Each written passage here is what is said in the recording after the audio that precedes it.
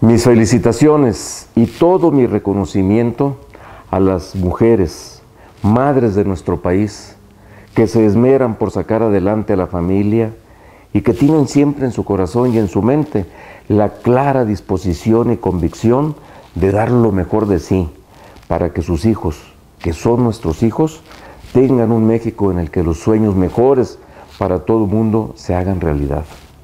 Hoy estamos en plena campaña electoral para cambiar el rumbo de México, para que nuestros hijos tengan un mañana con felicidad, sin el temor de ser víctimas de la violencia, que vivan en paz y en armonía con la naturaleza.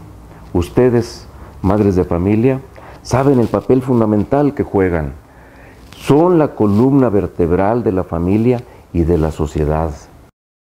Ustedes saben bien que en el PRD encontrarán el compromiso de seguir trabajando para lograr la equidad de género, para que no haya discriminaciones por razón de sexo y que ustedes tengan plenos derechos con igualdad de oportunidades en todos los terrenos de la vida económica, social, política, al igual que los hombres.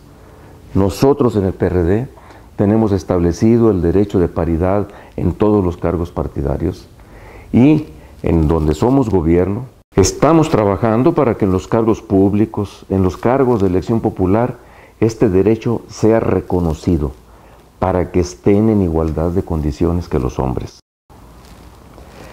Y para que ustedes, mujeres, tengan la posibilidad de seguir desarrollando todas sus capacidades. Como lo sabemos muy bien, yo lo he dicho en muchas ocasiones, ustedes son mejores como mujeres, como madres, que nosotros los hombres. Hoy en el país se contrastan el Distrito Federal y el Estado de México. En el Distrito Federal, donde Andrés Manuel López Obrador fue gobernante, puso en marcha este conjunto de programas sociales que tienen que ver con nuestra convicción de la equidad de género.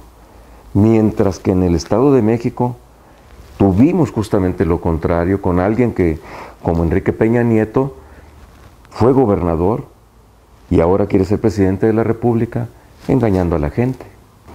Tampoco podemos permitir que un gobierno panista que ha enlutado a decenas de miles de familias, cortando toda posibilidad de desarrollo de una vida luminosa para muchos hijos de ustedes, que un gobierno con esas características siga al frente de la responsabilidad en el gobierno de la República.